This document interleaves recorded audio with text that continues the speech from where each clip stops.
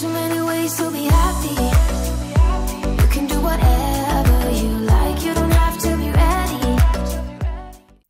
cuties and welcome back to another CC haul. Today I have around 100 new build CC items for you as always. You can find links to everything in the description down below and I'll also make sure to link you to my playlist of previous build CC videos so you can check out more CC over there if you're still in need after today's video. But without further ado, let's get straight into this. I hope you are all doing well.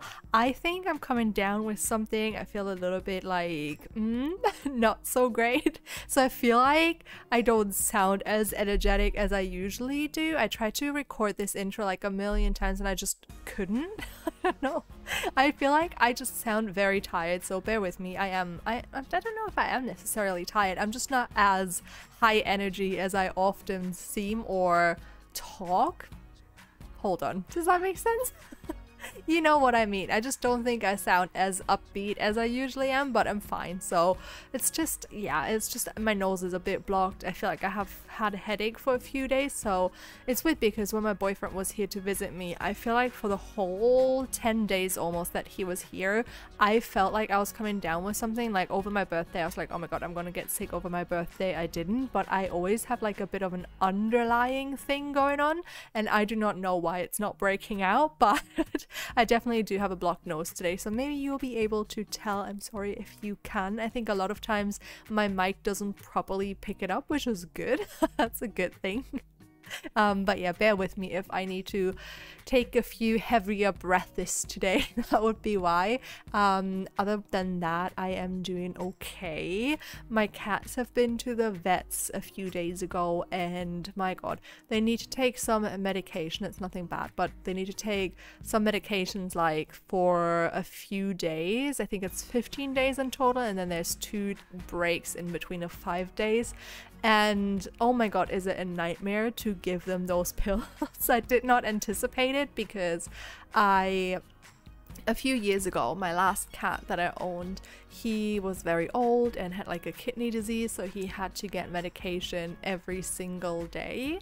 And it was always a nightmare to give him that medication. And then whilst I started fostering I had to give like multiple different cats all sorts of medication. And I kind of just looked into the topic more and was like, how do I best do this? And then I found that it's usually the easiest to just hold your cat by the neck, like when they're eating or something, and then just put the pill like right at the back of their throat so they don't even really taste it because then they just have to swallow it.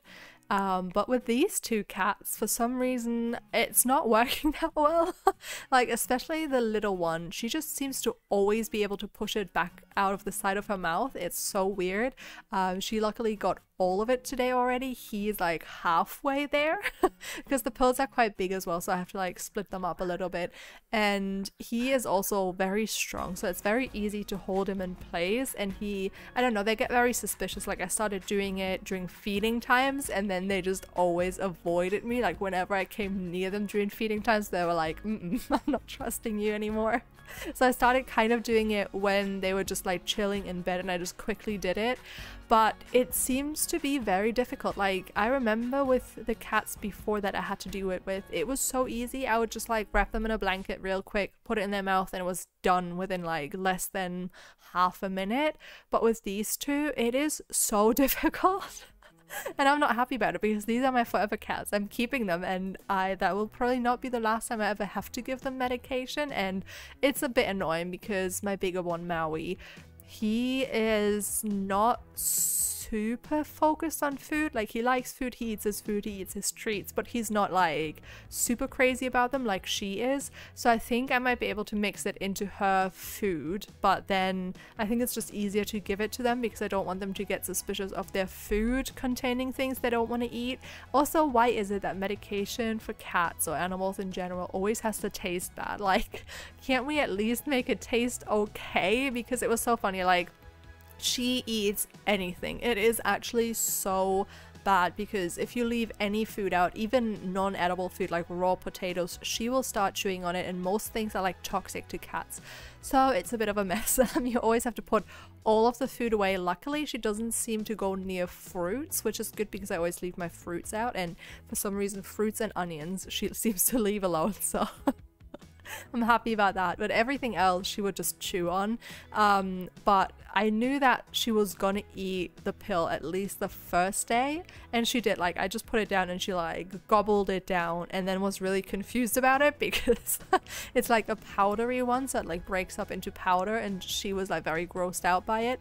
So the next day she learned and didn't eat it again, which I was surprised about to be honest, because she usually does not learn from her mistakes.